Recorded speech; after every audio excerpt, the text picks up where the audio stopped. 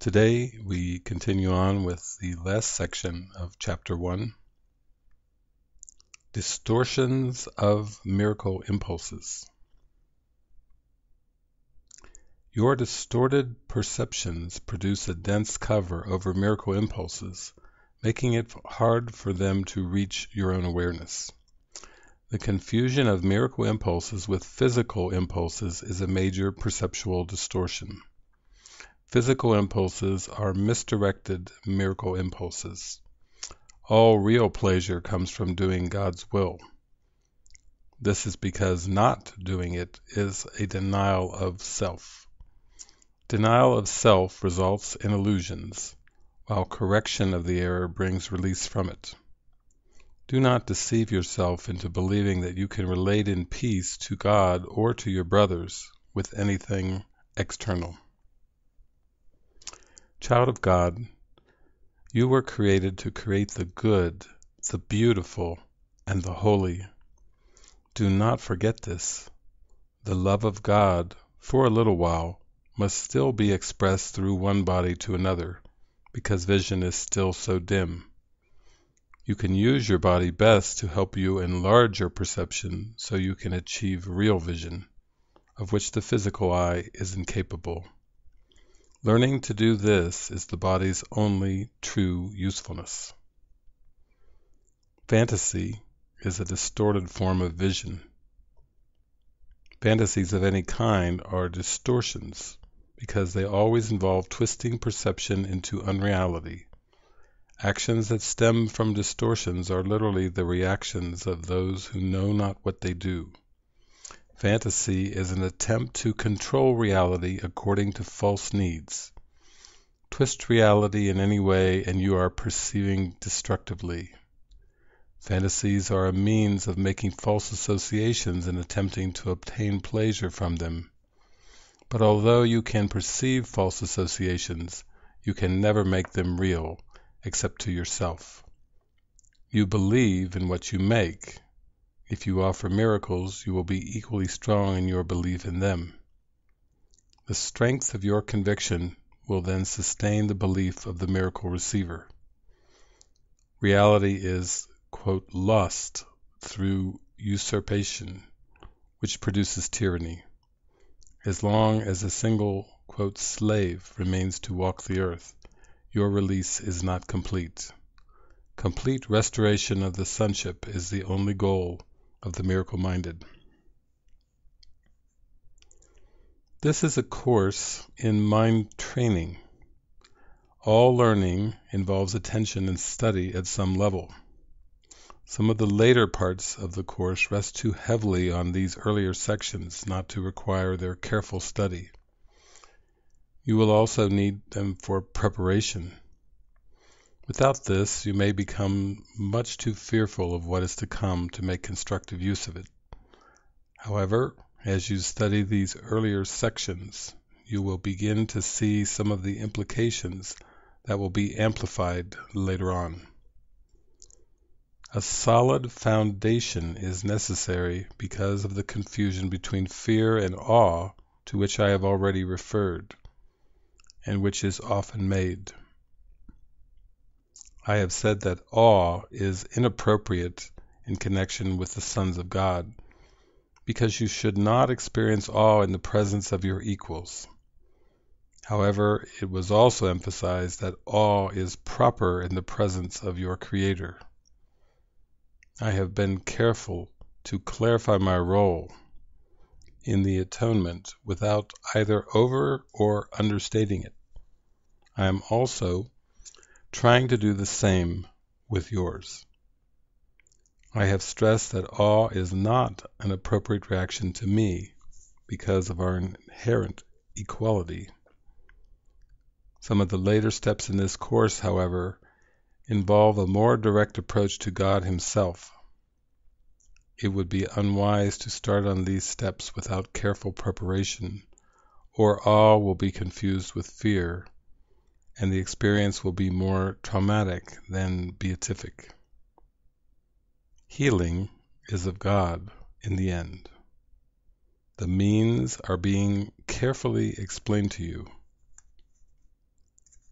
Revelation may occasionally reveal the end to you, but to reach it, the means are needed.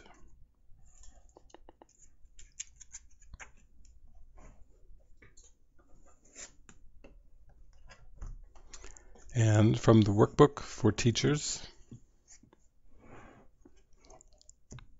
lesson number six. I am upset because I see something that is not there. The exercises with this idea are very similar to the preceding ones.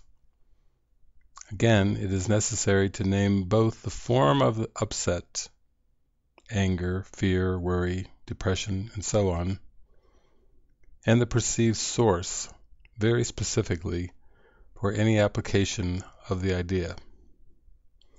For example, I am angry at blank because I see something that is not there. I am worried about blank because I see something that is not there. Today's idea is useful for application to anything that seems to upset you and can profitably be used throughout the day for that purpose. However, the three or four practice periods which are required should be preceded by a minute or so of mind searching, as before, and the application of the idea to each upsetting thought uncovered in the search. Again, if you resist applying the idea to some upsetting thoughts more than to others, Remind yourself of the two cautions stated in the previous lesson. There are no small upsets. They are all equally disturbing to my peace of mind. And I cannot keep this form of upset and let the others go. For the purposes of these exercises, then, I will regard them all as the same. I am upset because I see something that is not there.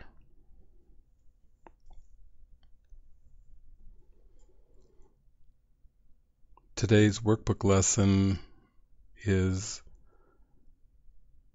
giving us the chance to unpin, to unwind from the belief in being trapped in appearances. When our very identity of love, of the living Christ, a perfect idea in the mind of God, has been forgotten, has been completely pushed out of awareness. And now appearances seem to have come to take the place of love and light. This condition could be called a hallucination. Just like a dry and thirsty traveler walking through a desert feeling scorched and hot and parched and dry, may hallucinate an oasis of shade and water. The sleeping Son of God has believed himself to be bereft of his Holy Father, his Holy Creator, and now finds himself lost and wandering in a desert of images, a desert of perception that God did not create, a fantasy world, a fictitious linear stream of images that have nothing to do with reality, nothing to do with eternity, divine love and happiness. And so, The first step in healing from this apparent condition of separation is to realize that all upsets, all upsets experienced are coming because there's a perception and that perception is not there.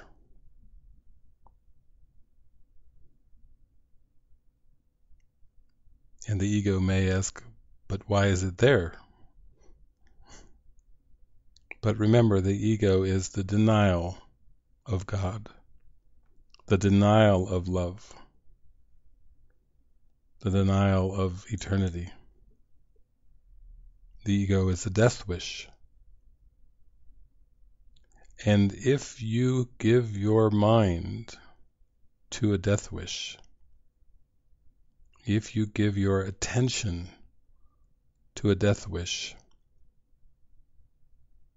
your focus, what else could you expect but a hallucination?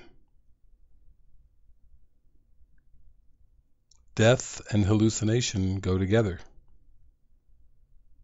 Life, eternal life, and happiness go together. in this world we get apples from apple trees and oranges from orange trees and grapes from grapevines. Why would it be possible to get perception, temporary fleeting images from an eternal creator?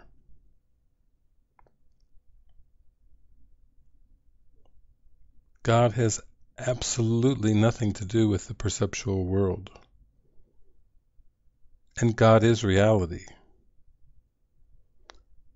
And so hallucinations cannot exist, cannot have reality. You don't get images from something that's abstract and eternal you don't get a linear stream of, of symbols on a timeline from that which has no beginning and no end, that which is infinite.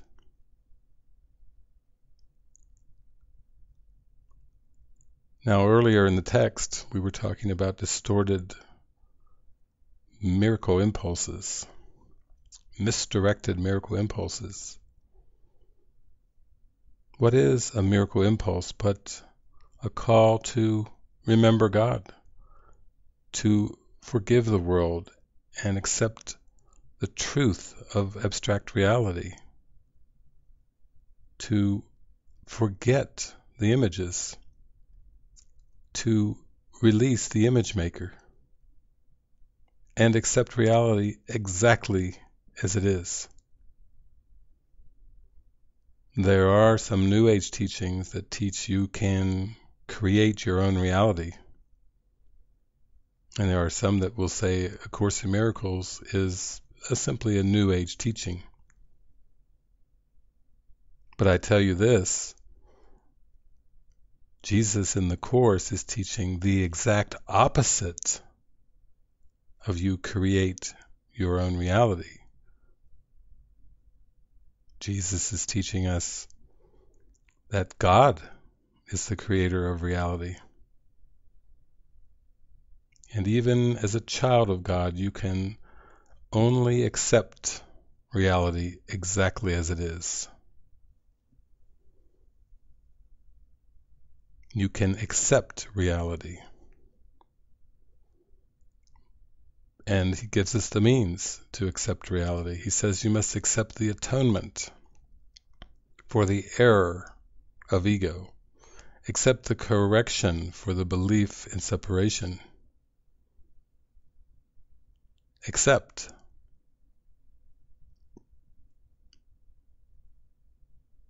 So this lesson I am upset because I see something that is not there.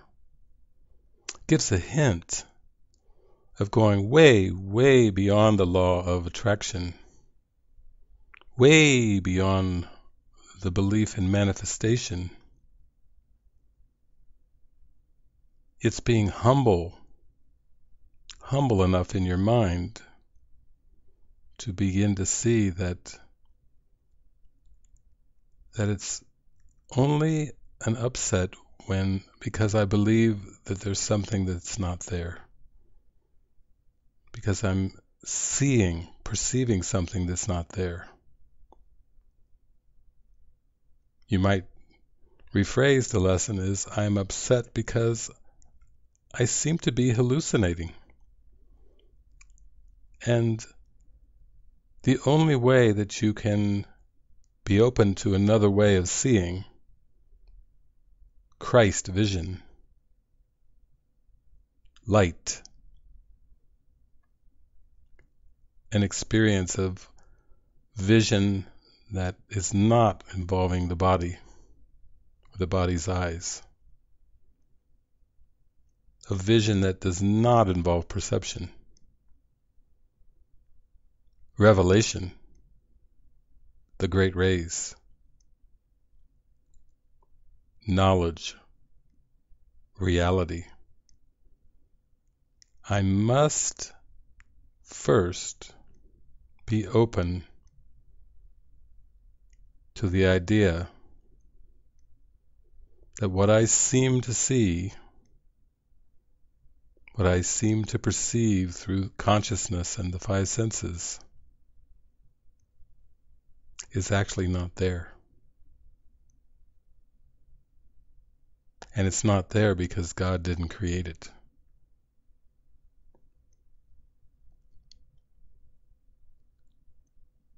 So the text said we may get glimpses of the end, which Jesus calls revelation, but we must take every small step that is asked of us we must progressively prepare our mind for the direct approach to God that is coming in these later workbook lessons. Because without this attention, this care, this willingness to follow every step, then the remembrance of God will still seem frightening it will still seem fearful. It will generate fear instead of the awe that is the appropriate experience with regard to the Creator. The Bible is very famous for saying, Fear God and keep His commandments. And I will simply reinterpret that right now as be in awe of God the Creator and come to know this awe by forgiving the world, forgiving the ego, forgiving the belief that one could ever be separate from a loving God and loving Creator. Today we are happy to behold and acknowledge first that there seems to be a hallucination in front of us and that I am never upset because of what seems to be the hallucination. Simply stated, I am upset because I see something that is not there.